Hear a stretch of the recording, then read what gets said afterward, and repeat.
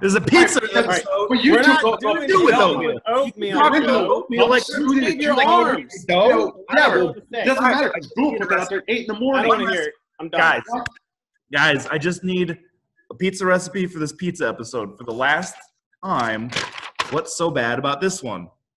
let me took take a look at it because I know much more about pizza than Joe. So Oh. let me. Yep. All right. Obviously, just looking through it, scanning through, your pizza's gonna burn in my oven. Oh, in your oven. Yeah, in my You worried oven. about me making a pizza that's gonna burn in your 900 degree oven that you built yourself because you said That's- a, yeah, a real that's one's right. too expensive to buy, but I'm gonna make my own pizza oven. I have a recipe for you. Oh my god! Use this one right here. Done. Oh, no, no, hold on one second, you joker. Let me take a look at that one. Okay, first, it's nicely crumpled. Uh, all right, Yeah. this isn't going to work because your sauce ain't even sauce. Looks like you're making a NutriBullet. And plus, under procedure here, you have the word pizza written with one Z. Whatever. Hey, Vico, if you want a recipe, What do you here's got? the holy grail, my friend. Let me get a look at that one.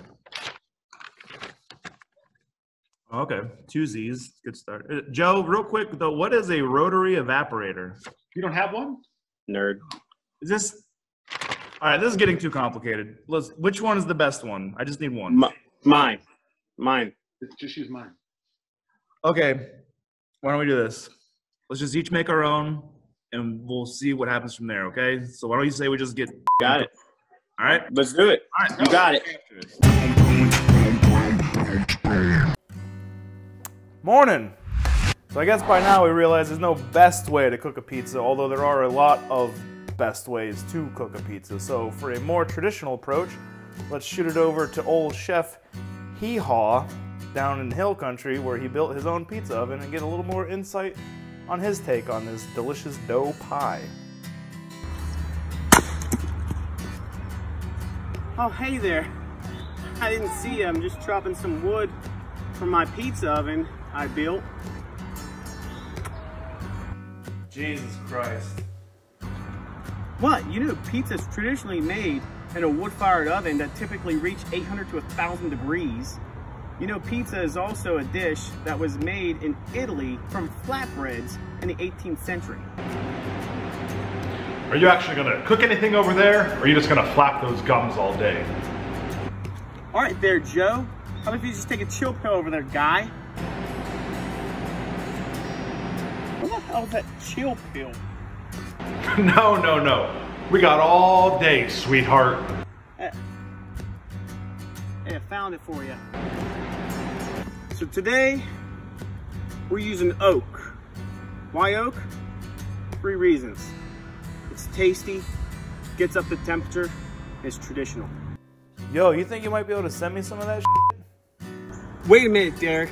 I, I think I got it. I got an idea. I got some wood here. And um, let me see these guys. Gonna a little cheaper than the postage.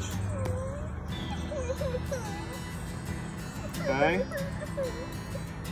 Hey, that's not fair. Sister has her balloon. Oh yeah? Not anymore. Jesus. Now that we fixed that,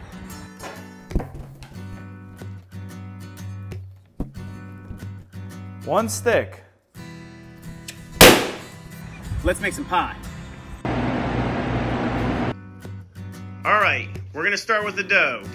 Some flour in a mixing bowl, add some salt, yeast, and olive oil. Get all that shit in there, nice and pretty. All right, now you're gonna need to get her wet. Go ahead and throw some water in that bitch.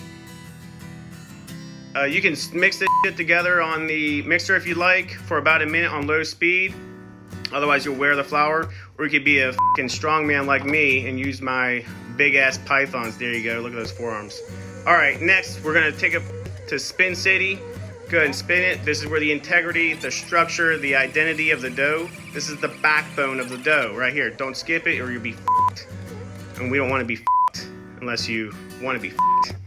All right, we're gonna go ahead and take this out of the bowl and grab a big ass container because it's gonna double in size. Get all that out of there in the container, and you're gonna put a lid and see it in the morning. Boom, done.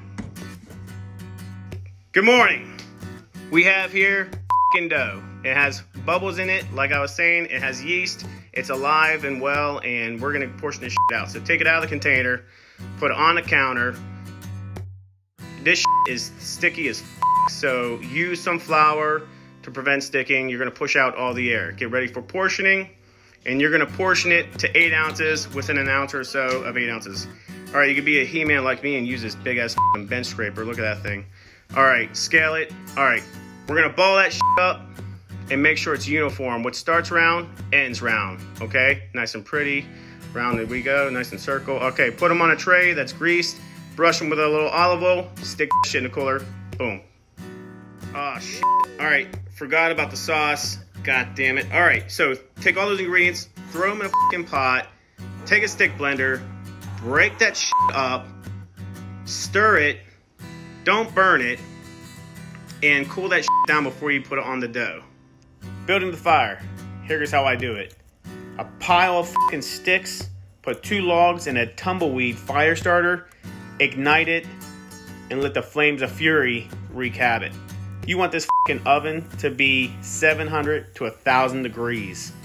Allow the embers to coat the bottom of the oven to get that floor hot. Once that's hot, go ahead and take your wire brush and clean it because you don't want ash on the bottom of your pizza. Okay, got a counter. We need something here, maybe some flour. Okay, put that down, slam the dough ball. Boom, take your sausage fingers, go and toss around a little bit. Push your fingers to the inside out, forming that beautiful crust. And look at that stud. Mwah. Tying stallion right there. Stretch it a little bit. Don't push your fingers through the dough. Be gentle. Give it a toss. Give it another toss. Oh, What the heck? Joe, you could have that one. Oh. Well, that dough's overproofed. You're gonna have that every now and then. It might actually make a really good starter for my pizza dough, though. Let's try that again, of course. Now that Joe has his dough, we'll take ours and a little flour, stretch it out, starts round and round, and stretch it out nice and easy. Don't poke through it, be careful. Use the weight of the dough to stretch itself. Nice and round, there you go, little toss, another little toss, perfect. Nice and round, starts round and round. Mwah. All right, grab our peel. I made that too. So go ahead and throw some cornmeal on it. That's gonna act as the wheels to move that pizza from the peel to the oven. All right, get that dough on there. That's a 10 inch uh, dough. And now that we got a nice round, let's add some sauce. All that we blended up. Uh, about a, I use about a ounce, one and a half ounce on a 10 inch pie really quick, laser speed sauce action. Put our cheese on there. I use mozzarella, a little provolone. Yeah, whatever you want to use. Uh, yeah, I use nice big chunks of mozzarella and then some basil. Give it a little shimmy. Make sure that is going to slide right off into the oven or we'll be screwed. And there we go. Employ that thing right in there. And this oven is very hot. Remember, it's gonna cook quick. You can see the bubble uh, starting to form. On one side mainly, you gotta give it a turn. These are long offset spatula that I made, of course. Give it another turn, a little bit turn. There we go. Do not take your eyes off this at all. This oven is very hot. It needs to be tended to and rotated often. Keep it rotated in its same spot. Don't move it around the oven too much.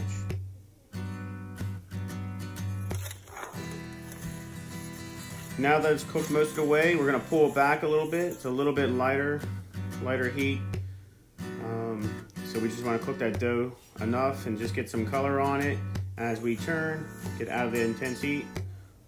Back on the peel, pull it out, and beautiful, moi, Italian stallion, if I'd say so. Cut this in quarters, halves, eat the damn thing whole if you want.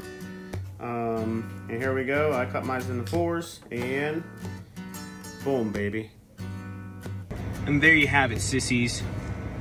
Old school, twisted steel, and sex appeal pizza. Right there. Have a bite? Nope, for me. Boom. All right, jabroni, you're real cute and all, but why don't you let Uncle Joe show you some grown-up stuff? So for my pizza, here's what you need to do. Need, get it? Jesus Christ. Here we go. You got a bad attitude, Halliday. Anyway, in your stand mixer, please add your water. I like this to be about 70 degrees because it will heat up during the process of mixing. In the water, add your yeast, double O flour, diastatic malt powder, followed by kosher salt, extra virgin olive oil, and then I like to add a poolish. I made this poolish by putting 50 grams water, 50 grams flour, and half gram of yeast in a bowl. Let it sit covered on the counter overnight to ferment. If you don't have time to make a poolish and have some pizza dough laying around that's old, throw it in there. Lock that bad boy into place, start it on medium-low speed, and we're gonna let it mix on medium-low for about 20 minutes until it pulls away from the sides of the bowl nicely. After that, cover with plastic wrap, bulk ferment, and let it proof for two hours until it looks like this. Perfect. All right, you see what I'm doing here? Somebody wise once told me this, that even monkeys use tools. So invest in a bench scraper. This dough is sticky. I'm telling you that right now, forewarning you.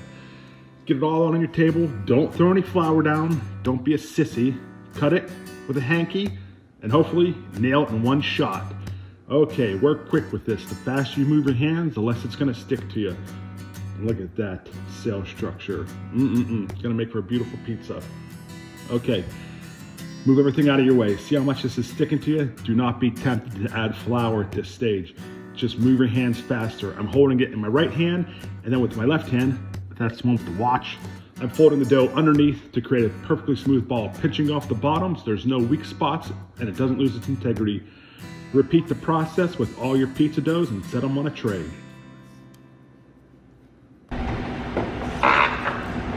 All right, let's have a real talk here. You don't need a fancy rotary evaporator to make pizza sauce.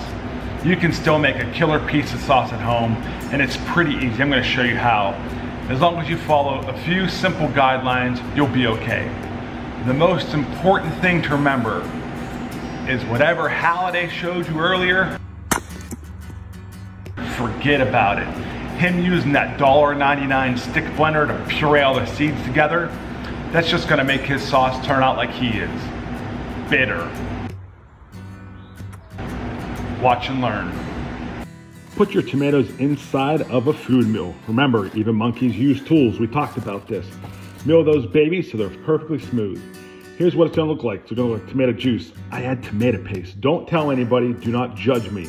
All right, some kosher salt, olive oil, and then dried oregano. All right, rub that oregano into your hands. It's gonna release its essential oils, make it delicious. Whisk this to combine. It's gonna look really thin at first, but the more you whisk it, it's gonna become a full emulsification, and it's gonna be nice and thick, ready for your pizza dough. See how it's sticking up right here? Beautiful. Put in a small bowl, and don't forget to taste it, or have a friend taste it if you like. Whatever, it's your sauce. Here you dunce, why don't you try some of this? Let me see. Let me taste it.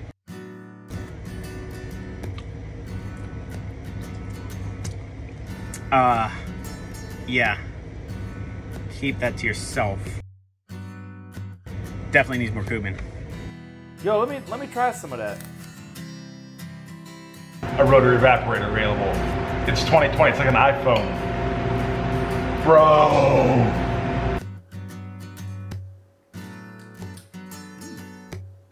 Anyway, Okay, after you rested your pizza dough in the fridge overnight, it's time to roll this bad boy out.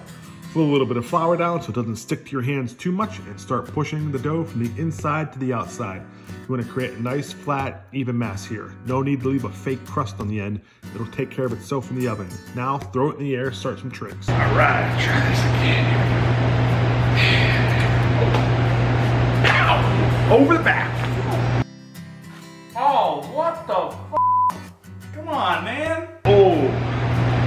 Sorry about that, Henry. Let's uh, Let's continue. All right, if you thought that was fancy, watch me slap this pizza out right now. What's that mean? There it is, slapping it. Good luck with this one at home. All right, oh, and uh, slap that like button down below while you have a second. We'd love you for it. Uh, it's good to note that this dough was sitting out for about an hour beforehand. It makes it much easier to stretch out and keep a round shape. Okay, San Marzano tomato sauce in the center of that pizza dough. Look how nice and round this thing is. My gosh, I'm good. It's working from the inside to the outside. Uh, and then we're gonna go on with our fresh basil, uh, tear it up and put it on underneath the cheese. This way it doesn't burn or fly away in the oven later. You'll see what I mean. Low moisture, whole milk mozzarella. That goes on next, followed by the toppings, a good choice. Now, at almost 40 years of age, I do need to find a creative way or two to sneak in some vegetables into my diet. So, what better way than to load up a pizza with them? Get some black olives, green peppers, some thinly sliced red onions, and some grape tomatoes that I cut in half. Once all your toppings are on, you want to go back and give the pizza a final stretch. This one's sure a nice round shape, and then it's not gonna stick when it goes in the oven. Speaking of the oven, find the most baller, high-tech oven you can. Get that bad boy up to 500 degrees Fahrenheit, blast the fan on high, open the damper, sit back and enjoy the show. That pizza stone's been in there for about an hour already. So it's gonna hit that and it's gonna start to steam inside, because remember, that dough's really wet. And just enjoy the beautiful sights here. All right, get your pizza out, and then what you're gonna wanna do is fumble trying to get the door closed once, twice, there you go, and present your pizza. Beautiful. Went a little heavy on the sauce right in the crust there, but hey, whatever. It's a grown-up pie, why not? There you have it, City Slickers. Uncle Joe's grown up pie. Nice tip sag, sweetheart. You know what? All right, cool it, you fucking animals. So, obviously, I don't have a fucking rotary evaporator, and I sure as shit ain't about to go build my own fucking pizza oven. Damn sissies. So instead, I got a nice charcoal grill out back. I got this twisted steel and this sex appeal. So why don't we try this? All right, it's another dough montage, you fuckers. Here we go. Water, yeast, bloom it, flour. Look at that parchment diaper. Blah. Get it all in there. Yeah, you see it. Fuck it. Olive oil and some salt. You've already seen this. This is the third one. It's nothing fucking new. Look, more water. Ta-da! All right, we're gonna incorporate all this shit. Yeast has gone about two minutes to kind of open up before we dumped all that shit in there. Put it on there. Get your dough hook. Put it up. We're gonna mix it for about five to seven minutes. It's gonna get a little bit tough on us, obviously. So we're gonna make sure we want to hold it down. This thing's gonna want to walk all over your counter, moonwalking and whatever. F it, take it off. It's done. Look at that shit. Beautiful. Take it off the hook. Transfer to another container. I have this cake pan. Just using shit I have in my kitchen, y'all. Let it sit covered for a couple hours, and then we'll start portioning. Now we're portioning. Look at this. Rip that shit. Don't worry about the flour. I don't use it. Shut up. We're gonna do the little Peroney method. Work it back and forth in our hands. Seven ounces. Booyah. Let it rest. All right, sauce. No rotary evaporator. Also, no food mill. So I do have this little strainer, San Marzano tomatoes here. And fuck, look at that. It's a fucking NutriBullet. Put some basil in. Kobe. Now we add our tomatoes. That was a garlic clove. We're draining them so we don't have a super saucy sauce when we put our pizza on the grill so it doesn't get soggy and it gets crispy. There's some more salt, you good you jokers.